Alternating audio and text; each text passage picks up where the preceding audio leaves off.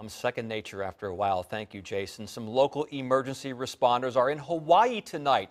It's no vacation. They have a serious mission to help overextended crews in the vicinity of the Kilauea volcano that has spewed destructive lava for weeks now.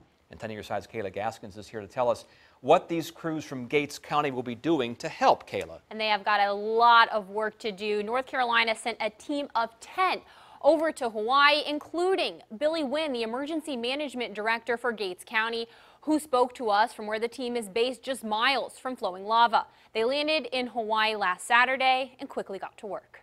It's a massive undertaking here that is still actually in the response phase. Billy Wynn and his team are based in Hilo, about 25 miles away from the volcanic activity. It's, it's a phenomenal sight to see. Uh, surreal is the only word that makes any sense to us. The team does a lot of logistical support, resource planning, managing evacuations, shelters, and road closures. It's a volcanic event, but it's not lava spewing from the top of a volcano like you see in the movies. Uh, the fissures are just opening up in the ground due to earthquakes, and the lava just comes from from the ground.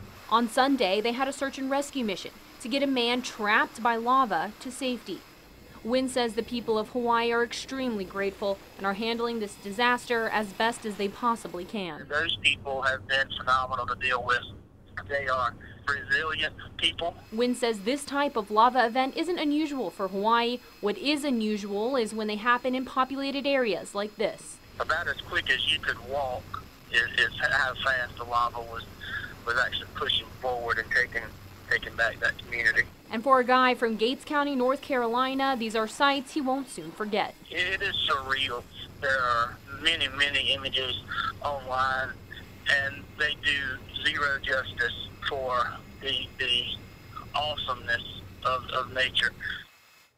Now, most of the images that we just showed you were sent to us from that North Carolina team. They are scheduled to be on the island for another week. Coming up at 6, how dealing with lava compares to dealing with hurricanes and other natural disasters these North Carolina teams are more familiar with. Also, why North Carolina and why someone from Gates County was sent to help in Hawaii. For now in the studio, Kayla Gaskins, 10 on your side.